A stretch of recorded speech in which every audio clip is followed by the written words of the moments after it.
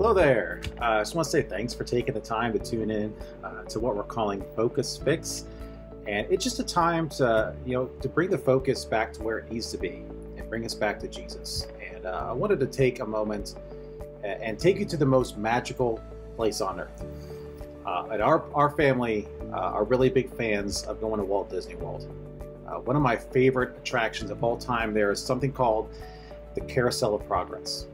And the attraction is interesting because you sit in this theater, and the whole show is made up of these audio animatronics. And, and when you finish a scene, the whole theater rotates to the next scene. And the attraction's premise is this exploration uh, of the joys of living through the advent of things like electricity and other uh, technological advances during the 20th century of this typical uh, American family. And it's a fun show. It's it's lots of it's it's famous around the world. Uh, but my favorite part of the whole thing is the theme song, where they sing uh, this theme song from scene to scene. And the the narrator, his name is John, who's voiced by Jean Shepherd, by the way, who also, fun fact, narrated a Christmas story, sings a song. He says, "There's a great, big, beautiful tomorrow." Shining at the end of every day. There's a great, big, beautiful tomorrow, and tomorrow's just a dream away. And it's a song that brings hope, and it, and it points the hearers away from the troubles of today, looking toward a hopeful tomorrow. And the Bible is full of, of verses that talk about tomorrow, right? Uh, we have a lot of them that talk about worry or making plans for the future. But I wanted to take a moment to consider something that Paul writes to the Roman church. And Paul spends time uh, discussing uh, all of the beginning of Romans, talking about God's work in mercy and love throughout all of human history. And then Paul leads us to what we call this love and action section of Romans chapter 12. Listen to these verses.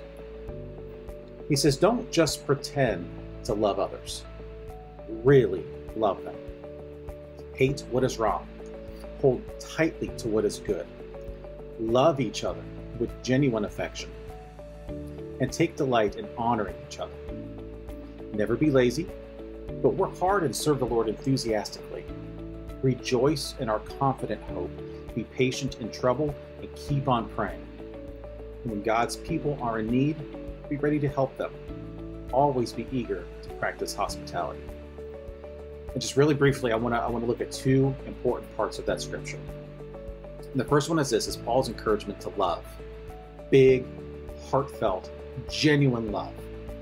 And that's one of the things that has brought me so much encouragement these last couple of weeks. Seeing people pour their love out in others that we just didn't hear a whole lot about just a couple of weeks ago. Look for stories of love. Be a story of love. Then, secondly, he, he says to rejoice in our confident hope, to be patient in trouble, and to keep praying. Yes, things are difficult, and we're living in a time unlike any other that we've lived before. But we have hope, and we have direct access to the creator of the universe in prayer. We have hope. And through our faith in Jesus, even in the midst of, of a great difficulty, we have a great, big, beautiful tomorrow.